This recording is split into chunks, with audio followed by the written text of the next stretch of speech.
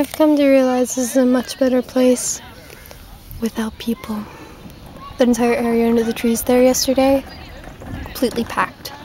Full of buggies, couldn't even park my bike there.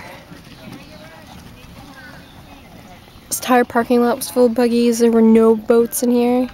This entire place was lined with them. Freaking maniacal.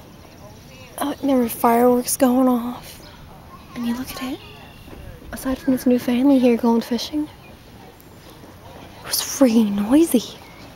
They had some really terrible singers down there just singing by the park, by the pool. It was horrible.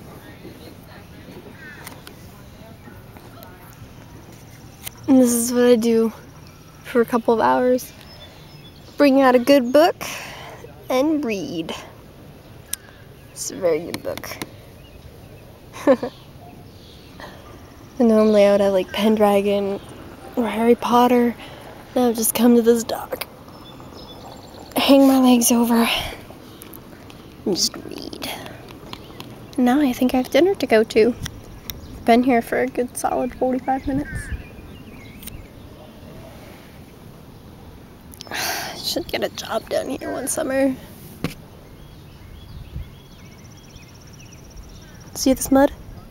That was from me. I was thrown in between two boats that were docked here. And I got a fish the size of my hand. Spotty, but you can't keep those. Can't keep the spotty.